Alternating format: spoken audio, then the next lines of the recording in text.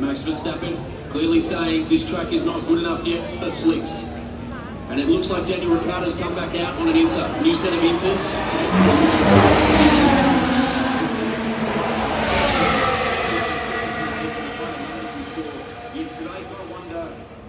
Close the crossover point will be, but at the moment, you heard Max Verstappen on the radio there a moment ago, and if you weren't, if you perhaps were able to see the, the transcription on the big screens, he says, in his opinion, it's still Inter's condition here on the streets of Singapore.